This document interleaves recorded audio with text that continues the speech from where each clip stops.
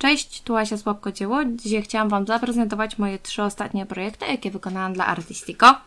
Będą to y, dwie prace na nowych bazach oraz y, praca z Hopa. Nie wiem, czy widzieliście naszego Hopa. On już co prawda się skończył, no ale nadal możecie pooglądać firmy y, i prace innych dziewczyn. To odłożę na bok, żeby nam nie przeszkadzały. I tak, tak Wam pokazuję tutaj tą dziewczynkę z bliska i tą pszczół, pszczółkę, która chyba Wam się najbardziej podobała z tego wszystkiego. Nie wiem, czy widzicie tutaj, o, jakie są, mm, jaka jest faktura. Bo tutaj to nie jest płaskie, to wszystko jest takie lekko chrobowate. Tu nam się coś świeci, u mnie często się coś świeci. I zbliżenie na kwiatek.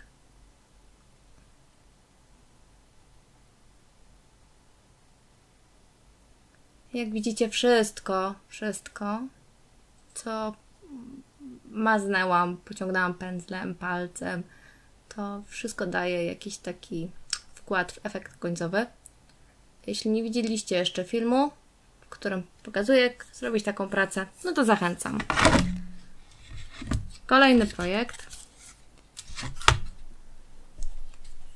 Jest to domek, a właściwie to saltanka, którą wykonałam na live w grupie Artistico, więc jeśli jesteście zainteresowani obejrzeniem, to musicie wejść na Facebook Artistico. Jeśli nie znacie linku, to dajcie znać w komentarzu, ja Wam po prostu go podeślę. Jak widzicie, zupełnie inny klimat pracy niż poprzedni. Ta jest taka bardziej radosna. To jest moje zdjęcie ze ślubu. I z bliska możecie zobaczyć, jak wyglądają poszczególne elementy. Ta praca jest troszkę bardziej prosta. Z prostej przyczyny była robiona na live, więc po prostu miałam na nią mniej czasu. I też nie robiłam jakiejś wcześniej pracy testowej, tylko to było wszystko tak prawie, że na żywca. I trzecia praca. Do niej niestety nie mam filmu, który by pokazywał, jak ona powstawała. Ale tutaj też bardzo dużo się działo. Zmieniałam dużą ilość, e, bardzo często zmieniałam e, media, zwłaszcza tutaj w tle, jak widzicie, to niebieskie, to wszystko jest farba, natomiast to złote, to gdzie niegdzie mi się zabrało mm, z mgiełki proszek. I on tak fajnie mi się tak pozbierał i takie złote plamy wyszły. Tak jakby trochę magii się tam unosiło to y, tu, bo to jest baza z altany.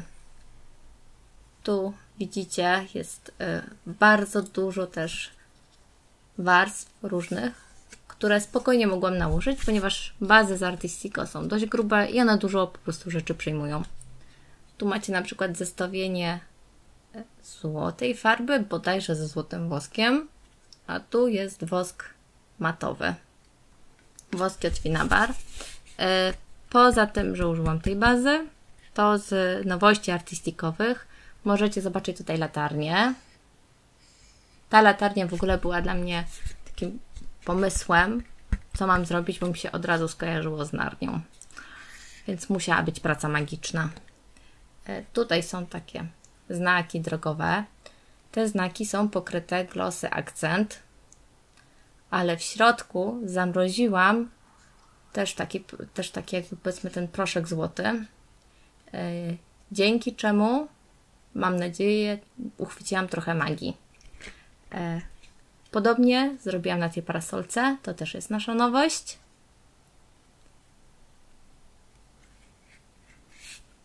Oraz na konewce i dzbanku. Jeśli chodzi o taczkę, to tutaj już e, nie kładłam tego glossa akcent, dlatego że tak, no wiecie, to jest taczka i to jest już taki dla mnie bardziej element naszego świata, nie tego drugiego świata. Za tą taczką znajduje się tajemne wejście do magicznego świata, dlatego ona jest trochę pokryta tak jakby tym pyłem magicznym, ale nie jest aż tak on widoczny, dlatego nie dałam tego glosy. No i tak się prezentują te trzy prace. O, jeszcze przecież są chmurki. To też jest nasza nowość. Ta chmurka jest obrócona. E, jak to e, zawsze w Artistico bywa, jak się kupuje zestaw z chmurkami, to one są takie same, tylko w różnych rozmiarach. I ja tutaj wykorzystałam właśnie takie trzy. I one też pokryte są, też są takie chropowate, pokryte są e, farbami akrylowymi, a następnie gdzie nigdzie, jak psikałam giełką, to ona się po prostu tam zatrzymała. Jeszcze raz pokażę Wam wszystkie trzy prace. I dajcie proszę znać, która z nich się Wam najbardziej podoba. To cześć!